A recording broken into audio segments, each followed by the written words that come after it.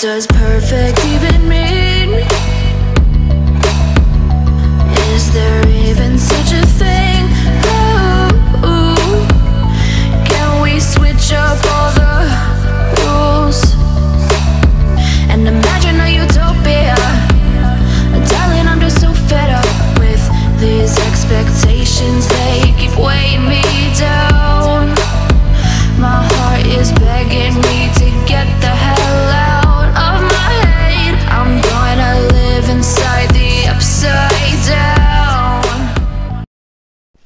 Hi guys, welcome back to my channel. My name is Kate or Kali and I am here on YouTube bringing you videos about fitness, wellness, health, nutrition, and all sorts of subjects like that. This video is going to be five tips on running your very first 5K. I just ran my first 5K today, actually. Uh, if you're interested in seeing any of that journey, I did make a vlog series, Couch to 5K in three weeks, uh, that I put out all the way leading up to my run today. So, I was really new to the world of running. I've never been an endurance athlete. I've never been a runner. In fact, I've really hated running. I've always done uh, like HIIT style workouts. Um, and even so, I play roller derby, and that's two minute intervals typically. The longest that you're going to be on the track on skates is two minutes, and then you'll get, you know, 30 second to two minute break, sometimes even all the way up to like a four or um, six minute break. Uh, and I do yoga and I do aerial silks and I've done MMA before. So, a lot of different um, sports that don't require long term endurance. So, this was a challenge for me. Uh, so, I want to pass on the knowledge that I have gained throughout this experience to you out there in YouTube land. Tip number one is to find a program. So all I did was go onto my phone and look up um, Couch to 5K. Typically, they recommend that you do like a 10 week prep or so. I only had three weeks. So I basically found like a 10 week, or it was a five week actually, five week prep plan, and I just did the bottom three weeks. Um, and that worked out pretty well for me. I mean, it was tough. It was a lot of training. It was a lot of effort that I put in, but it it got me to where I was today. Which, for those of you curious, um, first ever 5K that I've run, my goal was to run the entire time, and I did that, and was very proud of myself for that. And I even met my secondary goal, which was to uh, complete the run in 30 minutes. And I got 30 minutes and 40 seconds, I believe. And I was very happy with that.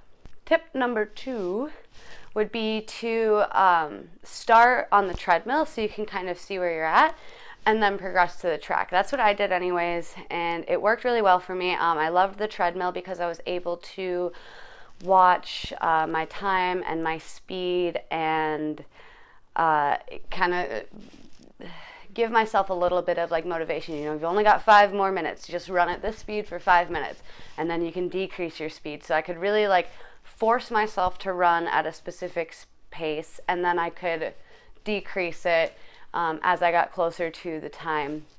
And then I hit the track the week before the race and only did track running the week before the race. My third tip is to create a playlist. So I really struggled with um, the mental game of sorry, my nails are terrible. I really struggled with the mental game of running, of endurance running. Um, I would just think, you know, like how much longer? When is this going to end? And uh, so I was worried because when I'm on the treadmill, I could count down the time. I could say, okay, you've only got two minutes left. Okay, you've only got half a mile left. But out there on the trail, you don't have that, obviously. So I created a playlist and I used that playlist the entire week leading up to the race. And I could use it to tell like how far along I was. So, you know, I also did and I had like each song is roughly three minutes. So all I need is 10 songs. Um, and then was able to tell by my playlist kind of where I was at. So I knew what my finisher was and I knew kind of like what my middle of the road songs were and obviously like that beginning song gave me that like okay it's time to run now um, mental click which is something that works it's in sports psychology we talk about um, external cues that get our minds and our bodies functioning at the peak performance tip number four is to take care of your body hydrate so 120 ounces of fluid a day especially the week of the race. It's really important that you hydrate more than normal. So if you're one of those people that's like, oh yeah, I kind of sip on water throughout the day, like start tracking it. Track it during your journey so that you know that you're getting 120 ounces without a doubt.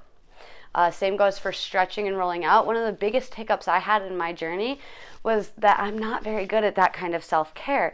And so I was finding myself running shorter distances and shorter times because I wasn't stretching out, so I was in pain. I was getting shin splints. I wasn't rolling my muscles out, so I was getting cramps. And it really does hinder your performance if you don't stretch and roll out. I uh, committed to doing it for about 10 minutes or so every night at the end of the day, uh, just while like watching Netflix and so, or something. I would just lay on my mat and stretch out, grab my foam roller and roll out, uh, and used ice cups for my shin splints. So a frozen cup of ice in the fridge and roll that up and down uh, on my shins to relieve that. Um, I started taking ibuprofen as well, uh, but I never stopped stretching. And same goes for nutrition. Uh, make sure that you're fueling properly with good complex carbs, healthy fats full of omega 3s, and plenty of protein. Okay, so no uh, macro fear here. Uh, we do macro balanced meals. I make sure that I get about 50% carbs, 25% fat, and 25% protein. Tip number five is to run for a cause that you care about. I know that for me, uh, I ran for Shatterproof. So, this is the shirt that I bought today at the race. Um, Shatterproof is an organization that supports addiction and recovery. And this is something that's really, really close to my heart. I actually used to work in uh, an alcohol and other drug addiction detox center, helping people medically detox off of substances.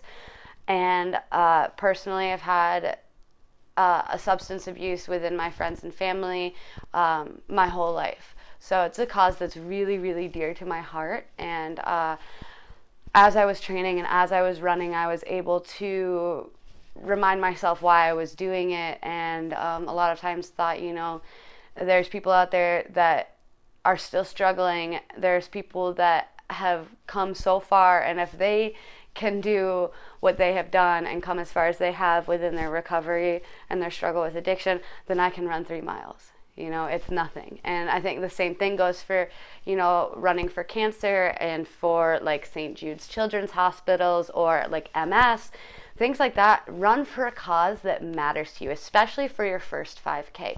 Make it something that's dear to your heart because then when you really start to want to give up, you can use that to push you through. Um, Shatterproof was really awesome because they had little like signs along the trail that had statistics and facts and um, things like that, motivational things, um, like quotes about recovery and stuff along the trail that really really helped to push me through when I was starting to fatigue. Um, so that's my final tip. I hope that you guys found this helpful. If you're interested in seeing more uh, fitness vlogs and what I eat in a day uh, type style videos, go ahead and subscribe. Um, leave me a comment. Let me know if you have any other tips. Uh, if you are interested in being my friend and want to follow me, um, my Instagram handle will be in the description below and probably in the end card here. Um, I want to thank you guys again so much for being here. Good luck on your journey. If you do decide to start training for a 5K, let me know and let's talk about it because I know that the most surprising thing I found through this journey was that I want to keep running.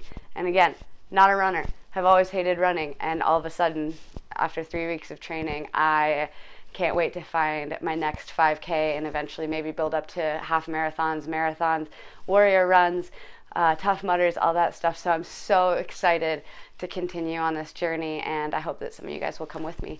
All right, thanks for watching. Love you so much. Bye.